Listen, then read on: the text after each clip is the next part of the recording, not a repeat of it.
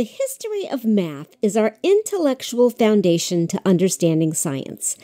Science, beautiful, awesome, wonderful science. It's the creative foundation to our ineffable future.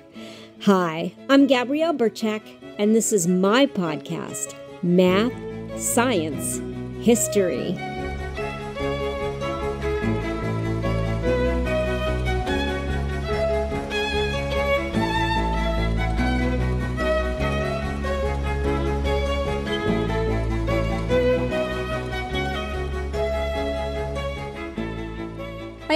Promote my website, mathsciencehistory.com, which I built myself. Of all the hosts that I've been with, my experience with Bluehost has been the best. What I really like about Bluehost is their customer service. It is top notch, and they are always there to help me. So if you're looking to build a website or you're looking to move to a new host, I highly recommend Bluehost. You can access Bluehost through my affiliate link, which is www.bluehost.com slash track T-R-A-C-K slash math science history, all one word. Bluehost is fantastic and they are affordable. It's only $3.95 a month if you sign up for 36 months. So if you do the math, it's $142 to start. And for me, it was the smartest business investment I've ever made.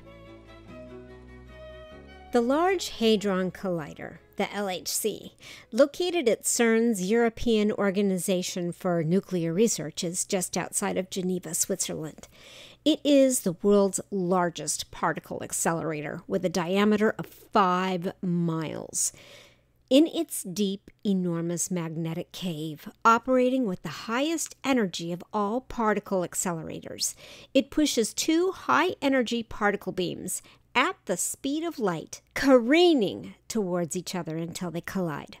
This subatomic discharge, in its glory, produces valuable results that lead us forward to greater discoveries. The LHC is one of over 30,000 particle accelerators in the world today, with the first one created at California's University of Berkeley in 1929, which was only 5 inches in diameter. However, at one point, just a few hundred years ago, subatomic research was unheard of, as was atomic research. Enter John Dalton, English chemist, physicist, and meteorologist, the colorblind genius with a genuine Quaker heart who would usher the world into atomic research.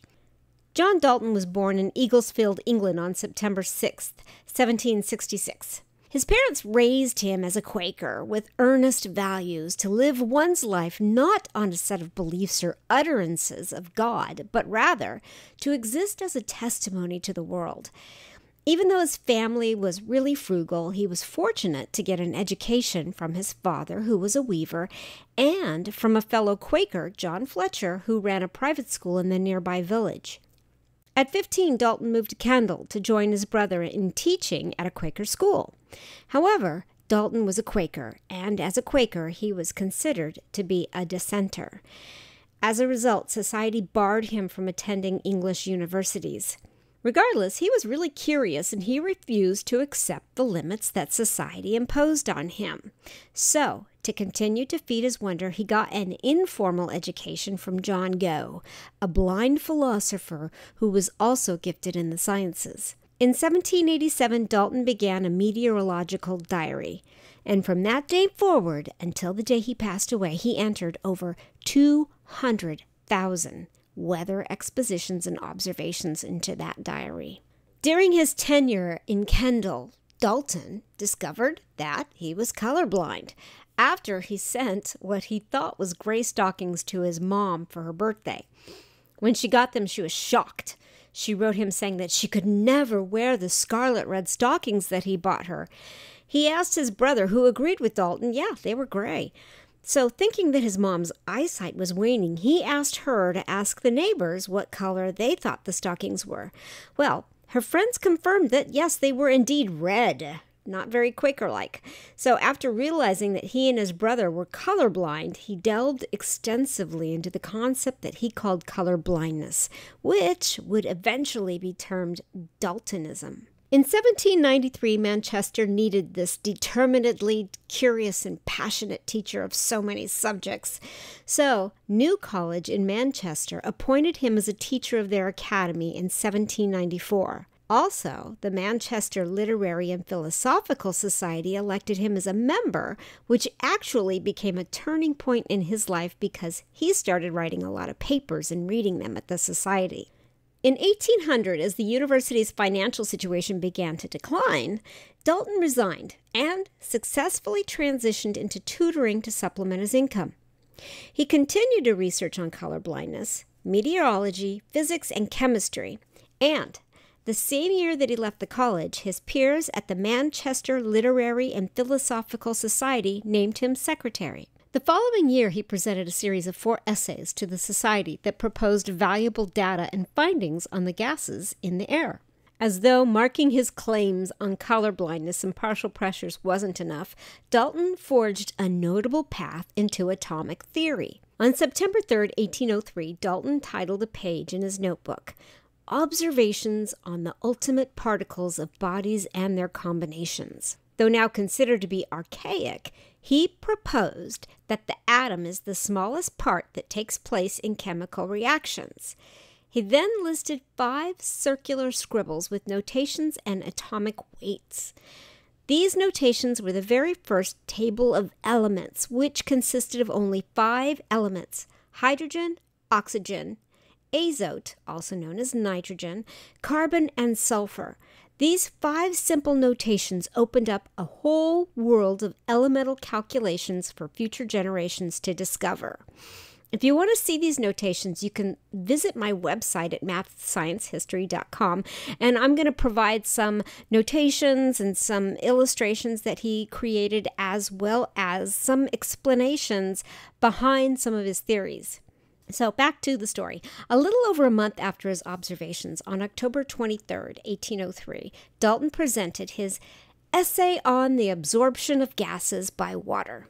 This essay concluded with his presentation of 21 simple and compound elements, all arranged by atomic mass. In 1808, Dalton published his first volume of work on the elements entitled A New System of Chemical Philosophy. In this, he presented a new set of data consisting of 20 elements. This data paved the way to elemental discovery and a process to categorize chemical structures. This new book was thorough and contained tables and tables of relevant and beneficial data, including 1. A table on elemental behavior under certain temperatures, 2. A table on the expansions of water, solids, and gases, and of course, three, his most famous table of elements. In the final chapter of Chemical Philosophy, chapter 3, titled On Chemical Synthesis, Dalton presented a thoroughly precise explanation on the atomic structure and the building blocks of matter. In 1827, when he published his second volume of work, his list of elements increased to 36 elements.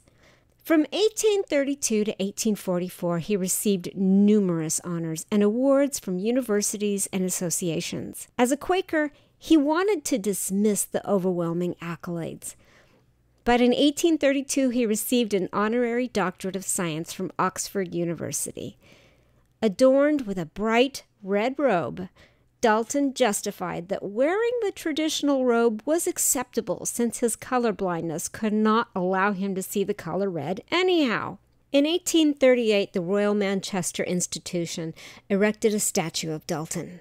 Despite his accolades and sincere admiration, Dalton remained true to his Quaker roots. He was humble, kind, altruistic, diligent, and hardworking. Still, with unrelenting disregard, age came to call for him, beckoning him to leave. True to his resilient nature, Dalton tried to ignore the request of age. With his last ounce of resourcefulness and intrigue, he entered a meteorological observation in his notebook on July 26, 1844. The next day, he took his last breath. There's no doubt that leading up to his last moment of life, he served science well, but he also served his friends well. He had many friends. He left a mark on the hearts of others with a constant reminder that each person has something valuable in the world to offer. His reverence for others was made evident by the outpouring of love and grief that followed his passing. At his civic funeral, the Annals of Manchester noted that over 40,000 people came from great distances to pay their respects to a man who served his life in the name of science. It is for John Dalton that we can see into the future. Traveling down the circular caverns of the LHC's giant vacuum, two thin beams of subatomic particles accelerate in opposite directions. Faster and faster they move, in a pipe sheathed with superconducting magnets, cooled in liquid helium at negative 271 degrees Celsius. Finally, they reach an adjoining pipe, moving at light speed toward a collision of discovery. The detectors, one as large as a five story building, follows the millions of subatomic particles as if they are microscopic fireballs dancing in the night sky. The detector observes their behaviors, analyzing and looking closely for the most short lived particles and measuring the longer lived particles.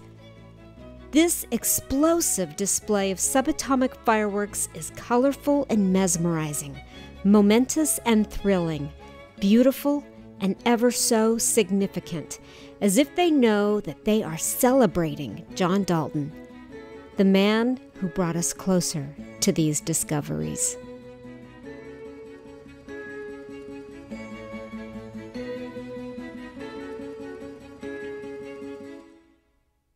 I'm Gabrielle Birchak. This podcast has been brought to you by caffeine. Delicious, wonderful nectar of the gods caffeine.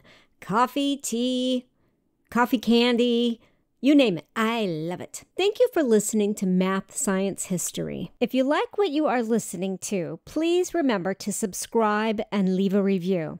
I would really appreciate that. If you are interested in reading more about the history of math and science, please come visit me at mathsciencehistory.com. And while you are there, if you like what you're listening to, please feel free to click on that coffee button and buy me a cup of coffee. Until next week, Carpe Diem!